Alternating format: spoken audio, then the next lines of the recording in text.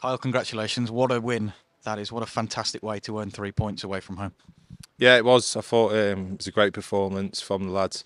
Probably the most complete we've we've played in a long while. Um, we spoke about just staying focused and you know trying to put a complete team performance together. We've been good in some second halves, but we've not managed to start well enough. And I thought today, um, with the first goal and the way the lads um, applied themselves, you know, it really got us going.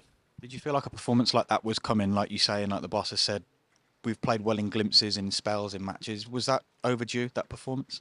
Yeah, I think so. I think we've been a little bit guilty of, you know, waiting for something to happen, you know, rather than really taking the game by the scruff of the neck. And I think we did that today. You could see from the first minute we was really aggressive, really confident on the ball, and you know, it made a, a, a huge difference. Preston were the only unbeaten team left in the division coming into today's match. Did that give you extra motivation to come here and be the first team to beat them? Um, yeah, I think so. Obviously, we're always motivated every game to try and get the three points, but you know we knew how how hard the game would be, and we knew we'd have to apply ourselves 100% and stay focused. And like I said, every man did that out there, and you know I thought it was absolutely fantastic. And that's your first goal for almost a year, Kyle. How nice was it to be back on the score sheet today, right at the end?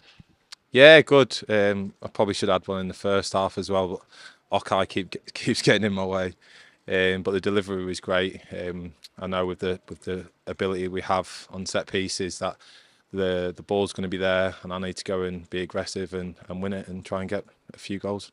Four different goal scorers as well. It shows that you can spread it around the team. That's always good, isn't it, for a squad? Yeah, definitely. You know, obviously we have a few injuries to to some key players and strikers, so you know it's going to be important that we share the goals out. And like I said, with the the quality we have on the set pieces, it's important for all the defenders, especially to to chip in and the midfield boys. And you know, it was great to see that today. Just finally, Barts, it's a, a typical busy week in the championship, uh, championship, isn't it? Three games in six days. How much momentum are you hoping this result can give you for clashes against Sheffield Wednesday and Blues now? Yeah, we've just got to yeah, get in tomorrow, analyse this game with with the boss, um, and then just focus on Sheffield Wednesday. You know, there's no point winning today and then getting a bad result on Tuesday. So, you know, complete focus. It's going to be another tough tough game, and you know, just take it uh, one game at a time.